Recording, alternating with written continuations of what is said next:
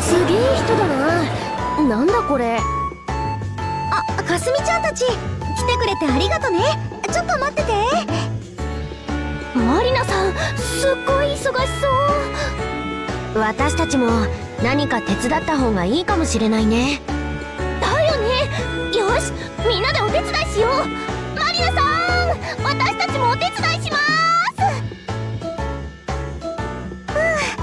みんなお手伝いしてもらっちゃってごめんね。おかげで助かったよ。 CiRCLE すごい盛況ですね。そうなの。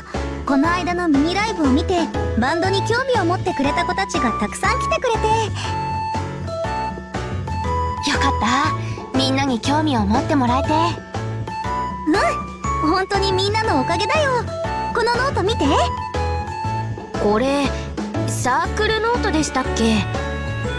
お客さんたちが寄せ書きしてるノートだったよね。そうそう。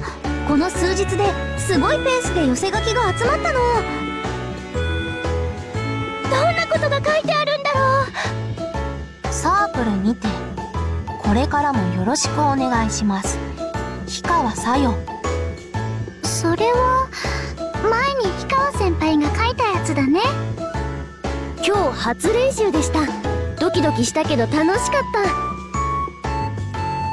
た。私もバンド組んでみたいな。誰か一緒にやりませんか？ライブ楽しかった。いつかサークルのステージで演奏してみたいです。すごい。バンドに興味を持ってくれたり楽器を始めてくれた人がこんなに。いやさすがガールズバンド時代だよ。みんなのライブが後押しになったみたいだね。なんかすげえ。実感が湧かないね。バンドを始めた子たちに会ってみたいな。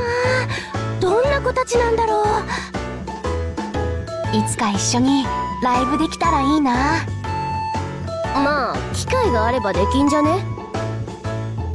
あ今思いついちゃった。まあかすみは単純だからな。私もかすみの考え分かったぞ。アリサすごい。この間のミニライブをきっかけにバンドを組んだ子に第2回ガールズバンドパーティーに出てもらうって。どうかな？おおかすみっぽい。だよな。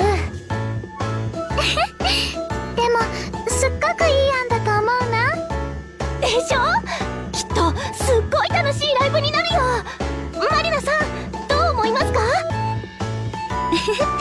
実はね今かすみちゃんが言ったこと私も考えてたの。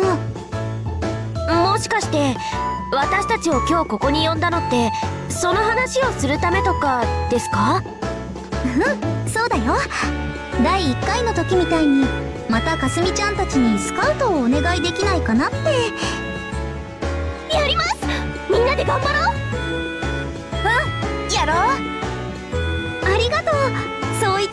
って信じてたよ。私の方でいくつかバンドをピックアップしてあるから一応その資料を渡しておくね。じゃあまずはそれを見ながら当たっていってみようか。うんそうしよう。